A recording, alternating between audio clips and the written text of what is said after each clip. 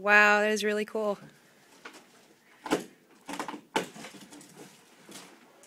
Pedals, legs.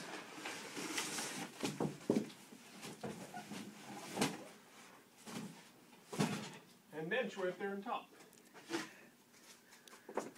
That's going to be pretty.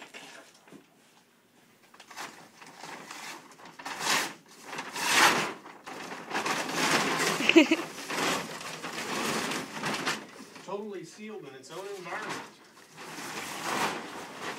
Is that lined with like aluminum foil or something? Wow.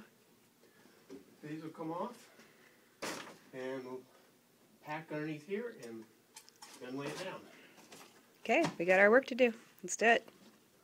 We've just been unboxing this brand new Samick Baby Grand, and we just thought we'd take a moment to explain to you how Grands are moved. You can see that it is on its side.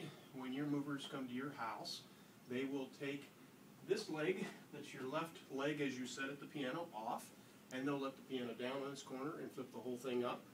And then they'll take the two legs and the pedal lyre off. We're doing a setup, so we're doing it just the opposite. Now, word of caution, the new pianos have much stronger pedal lyres, and we can put this down, which is what we're going to do, and support the piano.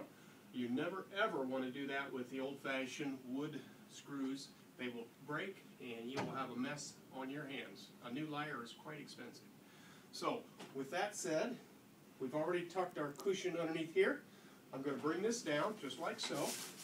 Allie thought I was crazy about doing this, but it's not as difficult as you might think.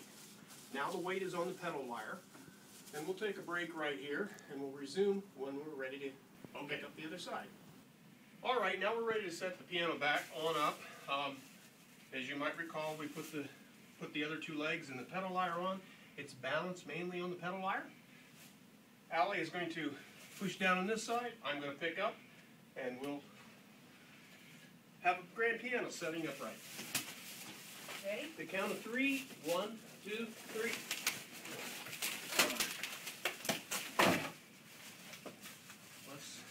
Okay. All right. And there you have it. Now we'll take the paper off, and you've got yourself a grand piano.